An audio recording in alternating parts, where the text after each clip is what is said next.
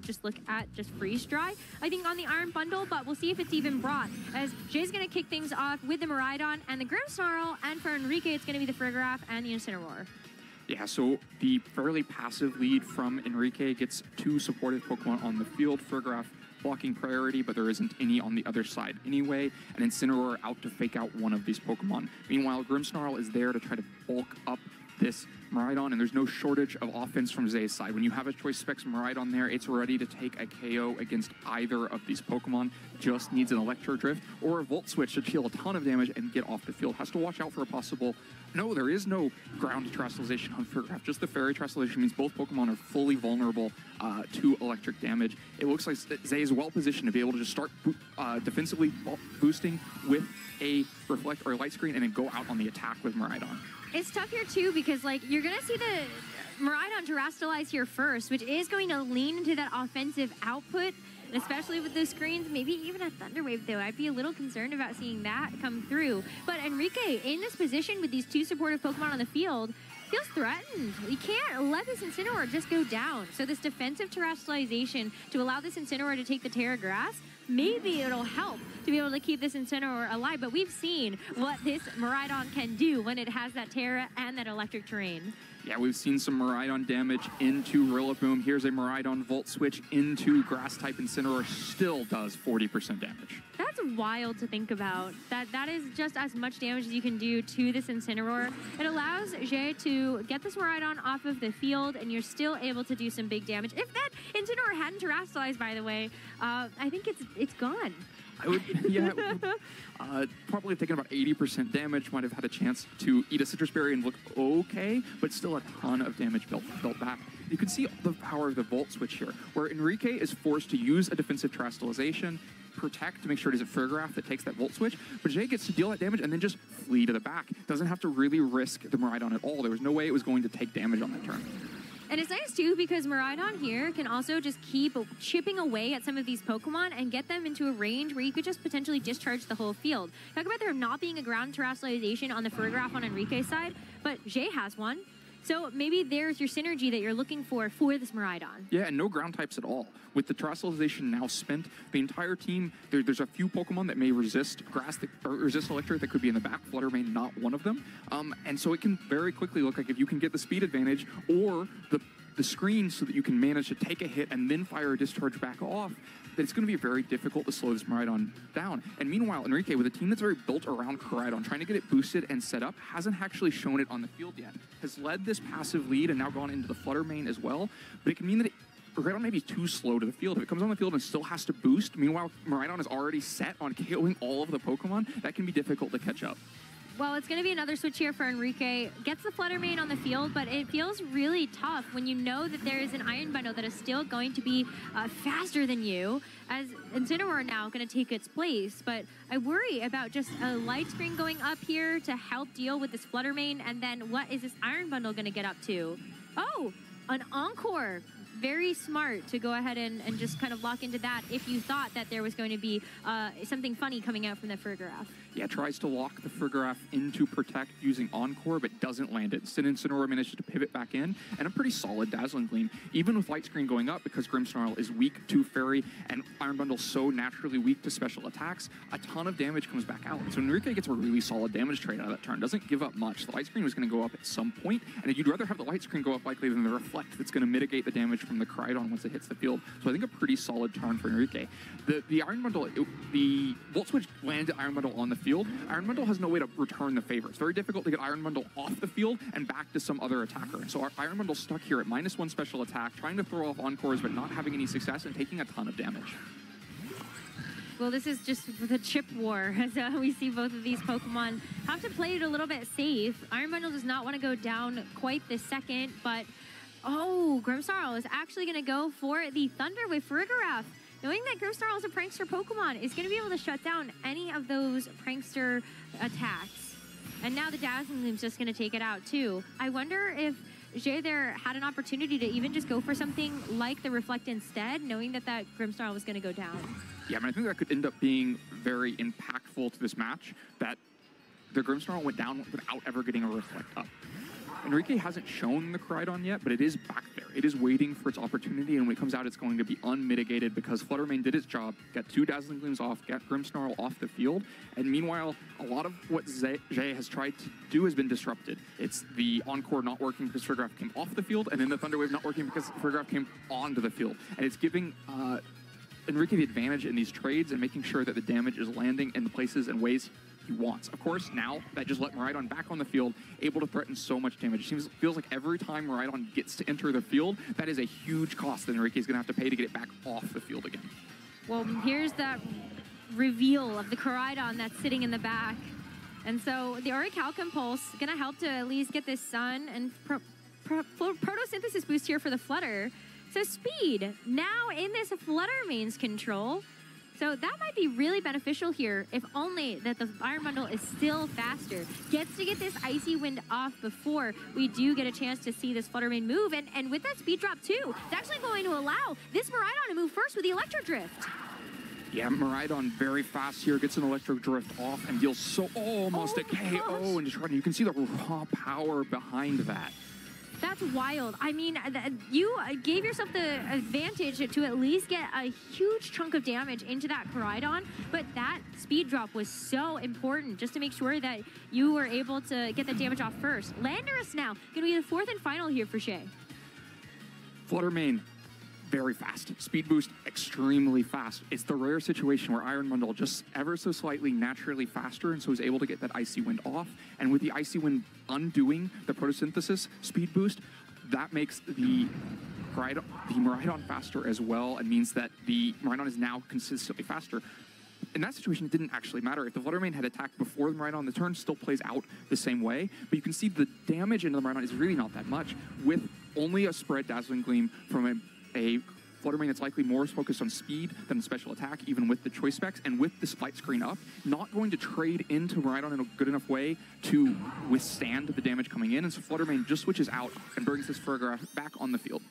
It is able to reset that speed drop, and Koraidon has no choice except to go for Protect here. So Enrique's best case scenario is that this Farigiraf goes down without being able to fight back so that that Fluttermane can come back out in its place. So Farigiraf takes this Electro Drift. It does get one hit knocked out, giving the opportunity for this Incineroar to, to come in and get a fake out, or that Fluttermane to come back in. Yeah. Ooh this could be the window that Enrique needs. Undoing the speed drop means Fluttermane can come back in, be the fastest thing on the field, threaten an Icy Wind that could be really impactful, should mean both a bunch of damage into Landorus and that Koraidon is then faster than Miraidon. Maybe between the damage from an Icy Wind and a Dazzling Gleam, you start to look at Miraidon and think it's in a collision course range for Koraidon. Could be a pretty impactful turn. Um, both players have only lost one Pokemon as well, so it's not like Jay has this big lead that, that Enrique has to very carefully trade into. Even if Landorus gets an attack off this turn, uh, things could still look in Enrique's favor. I mean, that Icy Wind is still going to be 75% to that Landorus' HP pool. But with that speed drop, this Koraidon can outspeed this Miraidon, and because it's choice specs, no way to protect itself from this collision course. So that is a huge trade that Enrique was willing to make getting a chance to take out this Miraidon and this Landorus going to be able to go for the Earth Power into the Flutter. It's still not enough though to take it out. Yeah, doesn't pick up the KO um, and leaves Landorus by itself against two Pokemon. Fluttermane should be faster and able to just pick up the KO. So the dominoes fall uh, kind of on their own. The damage is there. The attacks are kind of funneled in the way that they have to go and is not in Jay's favor. The speed ends up working out for Enrique because he's able to undo that Icy Wind by just sacrificing the Farigiraf. Really not a very high cost to pay when you see how easily it closed up this game and gave Enrique the game one. Yeah, amazing, especially after having as its primary damage source with freeze dry, and then it also came into a parting shot. So it wasn't actually threatening a ton of damage. You can see why Jay prioritized some kind of disruption and support because Iron Bundle had been really mitigated in how much damage it could do. Well, here's a bit of a switch up. Not for Enrique, as it's going to be the Incineroar and the Farigiraf to lead, but if you look behind that Farigiraf's tall neck, there is an Iron Bundle standing back there next to that Miraidon here for Shay.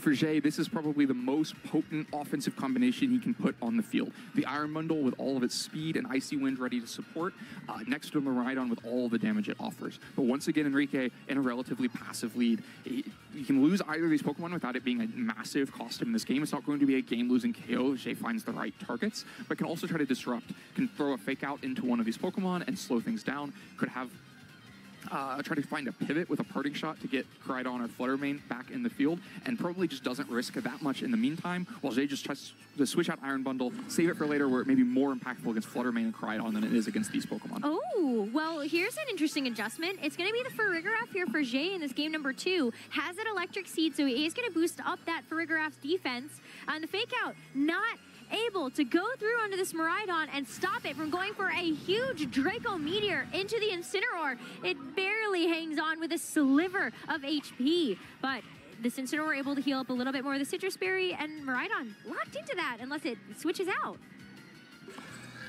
Oh, and this is fascinating. Trick Room goes up. So we talked before the game that neither player really builds this Farigiraf focus on Trick Room. But it could come up with both these things are so fast that Trick Room could be an option as when Enrique gets the Trick Room up.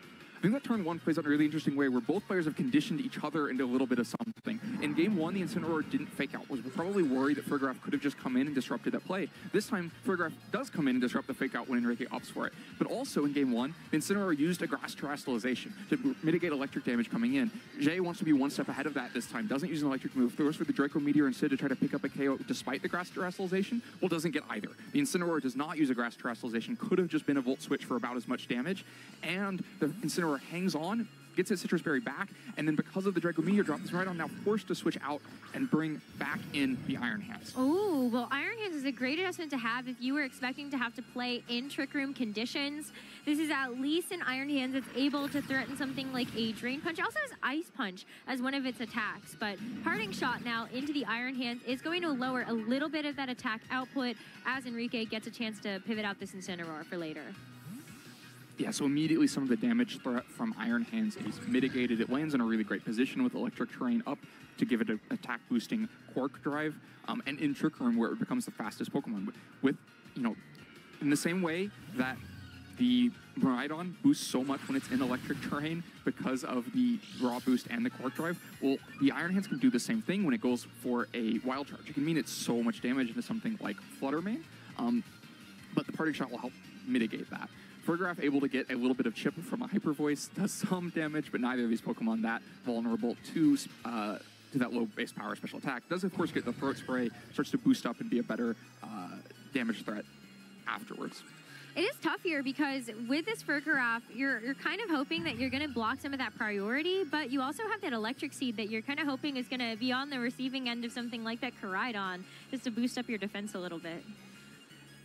Let's see, though. We'll have to see if the Trick Room uh, actually plays out in Enrique's advantage. I think a really important uh, situation to come up with the Iron Hands is likely to go straight out on the offense against Fluttermane, so Fluttermane does just switch back out. This is a Trick Room that Enrique set up, but it's now a Trick Room that's forcing him to pivot his own Pokemon. As Incineroar comes back in to intimidate his Iron Hands and weaken it a little bit more.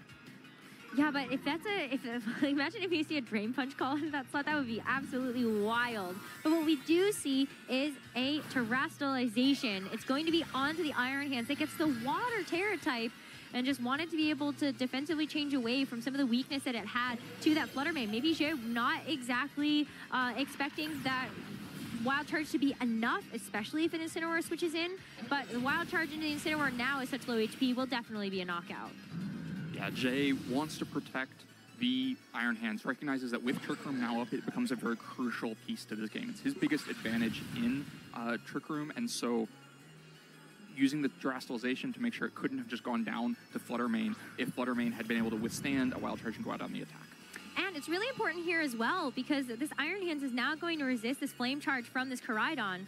We know it doesn't have Flare Blitz, so even in the sun, this Iron Hands should be able to take it. A Collision Course is going to do a That's ton true, though. of damage. Um, Iron Hands has been intimidated and parting shotted to where it is really not that much a damage threat, even with the Quark Drive. Uh, could maybe pick up a KO onto Farigiraf with Wild Charge because of the electric terrain, but Koraidon is where the focus is. And Iron Hands is not threatening Koraidon. So even though the speed advantage is fully in Jay's favor, because of the Trick Room, both of his Pokemon will move before this Koraidon. They probably can't do enough damage to really be that big of a problem for this Koraidon.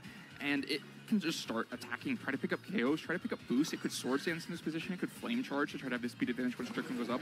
A lot of flexibility for this Koraidon because it's in a pretty safe position. Yeah, oh, coming down to the wire there for some of that move selection. But the Terastallization is locked in here for this Koraidon. Gets a Fire Tera type. And one of the the changes that we saw in this Iron Hands that is critical to mention is that it does have access to Ice Punch. So this is also one way that you can really keep this Koraidon safe in front of that type of threat. But this Farigiraf also going for the Protect. Uh, it was a really interesting choice, though, between going for the Flame Charge and even just being able to go for something like the uh, Collision Course there. But opts to just kind of sit there and try to get some setup in as it takes this Twin Beam. Ooh, with a Wild Charge, actually trying to go into the Farigiraf to take it out yeah, Jay recognizing that the Iron Hands really wasn't that big of a damage threat, and Koraidon so tries to get something with a KO out of that turn, but just does a little bit of damage with Twin Beam and gives up a Swords Dance. This Koraidon now looks so threatening. A Swords Dance boosted Collision Course is going to KO any of Jay's four Pokemon. There isn't something left that can take that attack. Every time it attacks and finds a target, it will pick up a KO. Ooh, I love that uh, uh, thought process though too. If you go for Flame Charge now while the Trick Room turns are expiring, then you will be guaranteed the fastest thing coming out of Trick Room if you play it right against something like the Iron Bundle. But just wants to keep it safe, knowing that this Miraidon has put, uh, has put a target on its back. The foul play could have really done a number to it. Yeah, a neutral foul play with the attack boosted would have done a ton of damage. Well, the wild charge into the Farigiraf is going to be enough to be able to secure the knockout there, but we're getting into the territory where these Trick Room turns are going to start to expire, and we have a, yeah, Koraidon and a Fluttermane potentially able to, to just do some work together. Yeah, Koraidon and Fluttermane on the attack as the last two Pokemon as Trick Room expires. So you couldn't ask for a better position for Enrique as Trick Room expires. The problem is that the Electric Terrain also expires, which means that Miraidon comes back in is going to reset it. We know that Iron Bundle is in the back. We know that when all four of those Pokemon are on the field together, that is a speed advantage in Jay's favor. The Icy Wind can land first, which can mean that the Miraidon gets to attack first. The thing that can disrupt that and shift this game back into Enrique's favor is a Flame Charge from the Koraidon. And there's a perfect opportunity to go for it here because there are these two very passive Pokemon on the field on the other side. Even if you miss a KO, you don't have to worry that you're going to lose Koraidon this turn, and so it's an easy opportunity to try to get that speed boost. Yeah, I mean, just the Moonblast into the Iron Hands is almost enough to be able to pick it up, but even with this Flame Charge, uh, you're going to be able to get this Farigiraf. I mean, talk about the fact that you've got the Fire Terastallization, plus you're in the sun, and now you've got that speed boost as well. We can really start to see this come to fruition. Jay does have the opportunity here to go for a Wild Charge into the Koraidon, and the critical hit is just going to knock it out. All of that setup off the full, after, just completely gone. Oh, it's such a crucial, critical hit. Undoes the parting shot, undoes the intimidate in a moment, and undoes this game for Enrique as the wild charge lands into the Terastallized Koraidon, no longer resisting Wild Charge and opening itself up to that damage. That two stages of attack boost, one stage of speed boost are wiped off the field. Fluttermane now left by itself. Choice specs locked into Moonblast, going to be single target attacking. It's going to need three attacks to get through a Focus Sash and two targets. There is just no way that's happening. Fluttermane's going to get KO'd by the first Electro Drift that lands, and Jay is going to take this game and push into a game three just shocking fashion as it felt like and everything was building up to Koraidon closing this out with so much damage and one critical hit undoes it all. I couldn't even get the right words out of my mouth because of how speechless I was. And just for an insurance policy, you have the Icy Wind to drop this Fluttermane speed, the Electro Drift to finish it off, and there's the game three that you have foretold. Jay damage into it in the end of the game and he was set up to not a, to lose that in two games and not be able to pull out a game three, not be able to try to keep going with a 2 0 record. But now all things are undone. It all reset. We're even at 1 and 1. Both players one game away from that 2 0 record. And all bets are off as we see the Miraidon and the Koraidon across from each other, just like Scarlet and Violet intended. Jay has that potent offensive threat again. Enrique so far in two games had led more passively to try to get Koraidon in the field later. We're done with that. We're straight to the to the main Pokemon here. Incineroar ready to support uh. I think it's a very uh, tricky position. It's another one where you can try to fake out to buy Koraidon a little bit of time, but if Farigiraf comes in, that could end up being a disaster. Either of these Pokemon landing an attack into Koraidon could really disrupt what Enrique's long-term game plans are because so much of the value is in Koraidon. But the right prediction, the right fake out, or a parting shot as a more passive swi turn happens for Zay could start to open up the window for Koraidon to attack. I think this is a really crucial turn one. It's going to set one player on the attack and the other player trying to figure out how to pick up the pieces. Well, we're going to see the terastallization from this Koraidon. It's going to take that fire type once again.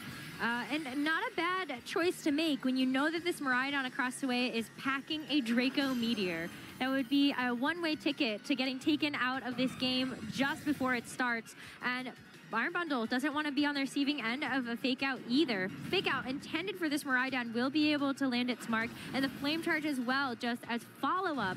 It'll help to start to offset some of these icy winds that could come through, and wow, This is just an enormous turn. We talked about one player seizing an advantage from this turn. This could not have gone better for Enrique. The Iron Bundle protects itself, doesn't want to get faked out, but the fake out is in the other spot. And it's not damage follow up, it is flame charge follow up. That means the Koraidon is starting to boost up. Of course, should still be slower than the Iron Bundle on the other side, but the Clear Amulet means Iron Bundle can't use an Icy Wind to slow that Koraidon back down, so it can stay ahead of the Miraidon. And there is no Hydro Pump. It wouldn't do that much damage in the sun here anyway, but not really a way for the Iron Bundle to threaten. And so Koraidon really set up to be all out on the attack here, but first can just protect for a turn, doesn't want to get Flame Charge on court. That makes sense as a way to disrupt it, and so protects for this turn and gives Incineroar a chance to attack.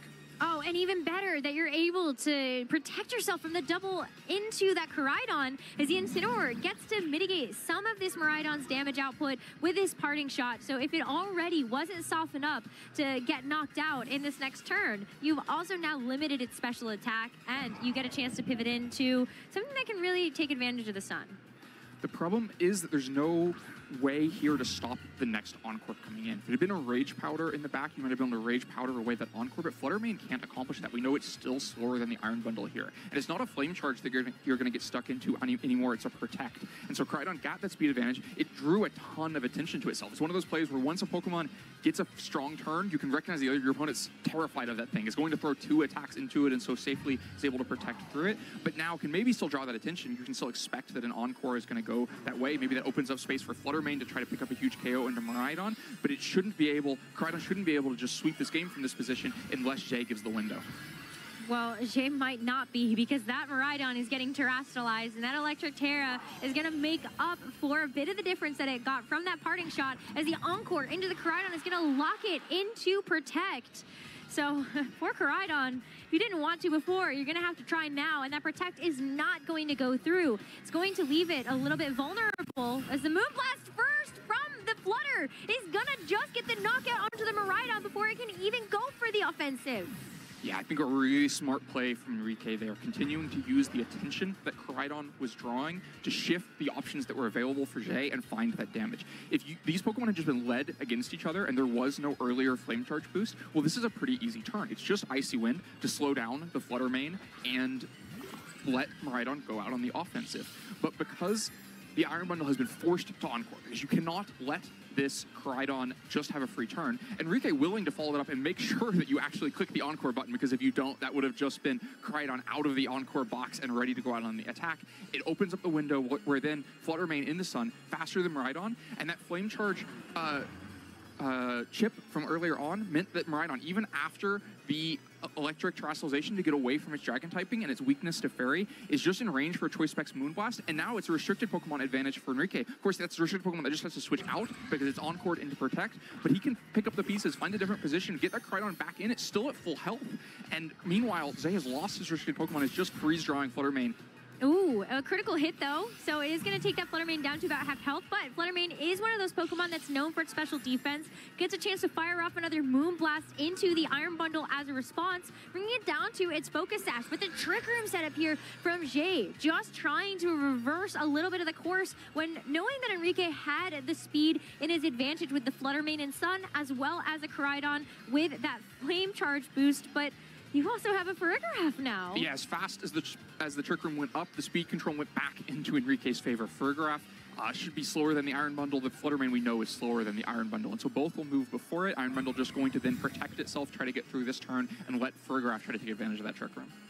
Yeah, Twin Beam is going to be able to land into the Fluttermane, but take a look at how little damage that's going to do. It's not like you're holding a Throat Spray that can help to boost up that special attack. Uh, and the Farigiraf in response, uh, just going to be able to kind of do the same thing because it is holding that item. Gets the Hyper Voice off, would have been the KO onto the Iron Bundle, which of course had to protect itself, but gets the boost, gets a little bit of damage into Farigiraf, and because Farigiraf was able to threaten the KO into Iron Bundle, that opens the Fluttermane to just go after the Farigiraf, continue to pick up damage. Since the Miraidon went down a couple of turns ago, this Fluttermane has then gotten to Moonblast the Iron Bundle and get it down to Focus Sash. Moonblast the Farigiraf for about 50% health, and the health advantage is so quickly going so far into Enrique's advantage. Yeah, I mean, still, like this Fluttermane and Farigiraf, they get a chance to move first. Farigiraf Hyper Voice should just be two KOs here, and so Iron Bundle has to switch out, has to find a different position, but that's just more damage mounting because it's going to be a Hyper Voice into that slot, and if the the Farigiraf on the other side goes down to Hyper Voice, it'll be a Moonblast into the Farigiraf. Oh, well, the foul play first, so getting a chance to take advantage of the Trick Room means that you're able to take out this Fluttermane before it gets a chance to get that KO, and you definitely don't want the Iron Hands to have to take that. There is retaliation from the Farigiraf on Enrique's side to knock out Jayce, and you're down to Jayce's final two Pokemon, but look at the health pool that Enrique's have. Yeah, the health is so far in the advantage. The speed is in the advantage for Enrique. The uh, in Iron Hands will get to attack first, but it's going to be doing that intimidated and without electric terrain. And so is Drain Punch going to be enough for this Incineroar? It gets to fake out this Iron Bundle anyway if it wanted to and just knock it out. The fake out can go into Iron Bundle for a KO, can go into Iron Hands to make sure that Jake really can't accomplish anything on these last couple turns of Trick Room. Things just look so easy for Enrique to play out here. Just has to still play it flawlessly, though, because you can't open yourself up to another crit. That would be devastating. But the fake out into the Iron Hands, the Psychic to follow it up, will be nice, super effective damage. Not quite enough to be able to pick up the KO. Uh, so you're threatening to be able to get a lot of that HP back if you're able to land a Drain Punch into something like the Incineroar. But I think Enrique's played this perfectly. You've got the Koraidon in the back that can tank that instead. Koraidon can switch in to take a Drain Punch. The Iron Hands shouldn't have enough damage to take the Farigiraf off the field, which means a Hyper Voice can just land and pick up a couple of KOs. It feels like the dominoes are falling one by one as Jay just is forced to give up so much health for every attack. That last turn was a giant Psychic just to get through one more turn. But it's worked out for sure. The Drain Punch, take a look at that. Koraidon does, in fact, take it like a champ and you can see just how little HP it's going to get back. Iron Bundle is still going to be the last to move, so this Farigiraf with the Hyper Voice gets the double KO, and Enrique takes the series two to one. Wow. Such a well-played match from Enrique that featured different game plans and different